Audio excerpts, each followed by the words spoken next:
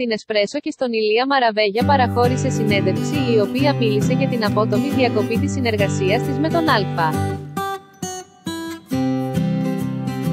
Η πιο δύσκολη φάση στα επαγγελματικά σου.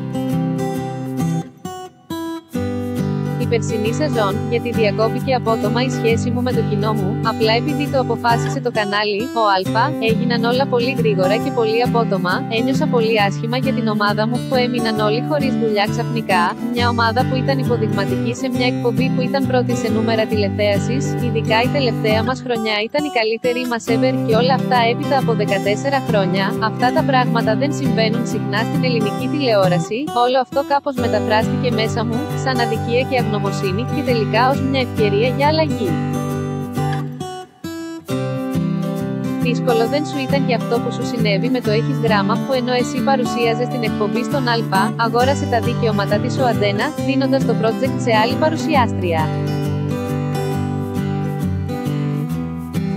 Βέβαια, τότε όμως συνεχίστηκε η πορεία μου, συνέχισα να είμαι δημιουργική μέσα στο κανάλι όπου βρισκόμουν, τον Α. Εγώ λοιπόν τότε το κανάλι δεν το πούλησα, αν και δεν είχα συμβόλαιο και ο αντένα μου έταζε λαγούς και πετραχίλια για μια μεταγραφή, θα μπορούσα να είχα αλλάξει κανάλι και να συνέχιζα εκεί την πορεία μου με το έχεις γράμμα, γιατί έφυγε όλη η παραγωγή και θέλανε και την παρουσιάστρια, εννοείται.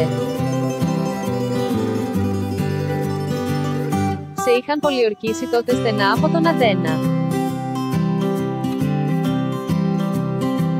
Με είχε πάρει τότε η Άλκη τη Μαραγκουδάκη για να με πιέσει να πάω, μέχρι και τον Γιώργο Παπαπαδάκη είχαν βάλει να με πάρει τηλέφωνο για να μου πει πολύ γλυκά βρε Βικάκη, έλα εδώ και θα είναι όλα τέλεια. Εγώ όμως τίμησα τη μέχρι τότε σχέση μου με τον Α, αν και δεν είχα συμβόλαιο, ο Α δεν τίμησε τη σχέση του απέναντι μου, έπειτα από 17 χρόνια που ήμουν εκεί πάντως, όλα γίνονται για την εξέλιξη και όλα αυτά που βλέπουμε ως δυσκολίες μπορεί να είναι τελικά μαθησιακές ευκαιρίες.